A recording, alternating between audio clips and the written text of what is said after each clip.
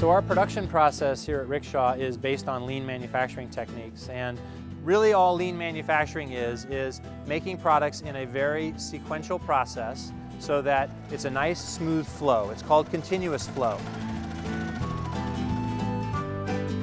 So this is our product development area here. We've got a variety of sewing machines and this is where we do prototypes and revisions of prototypes. It's very old fashioned. We, we don't work in CAD on these. We work with paper and pencil.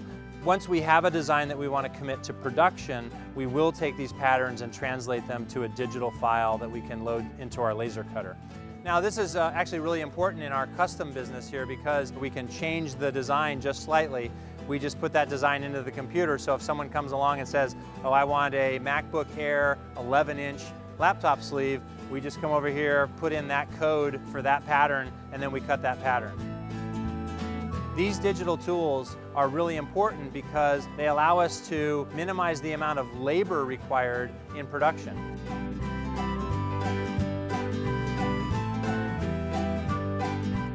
We'll introduce a product, we'll just make batches of them. Matter of fact, some of our products we don't make so many of, we just make them in our prototype area. But when we start making things, you know, 50 to 100 a day, then they have to go into a, a, lean manufacturing process. So it's really driven by volume. We don't immediately go, okay, let's build a production line for this.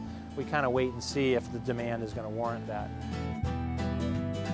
So uh, we're here at our production line, okay? And what you see here is a U-shaped arrangement of machines. Think about this as a one-way street with a bunch of stop signs, okay? At every intersection is a machine and the product stops at that intersection, has an operation done on it, then moves on to the next intersection.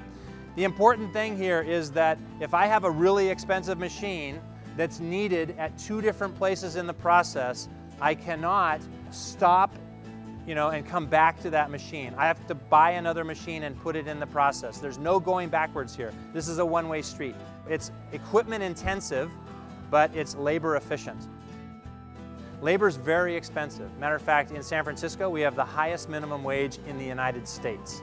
We also have some of the highest real estate costs in the United States. So it's really important that this factory run efficiently from space utilization, the real estate, and labor utilization, how much labor goes into every product.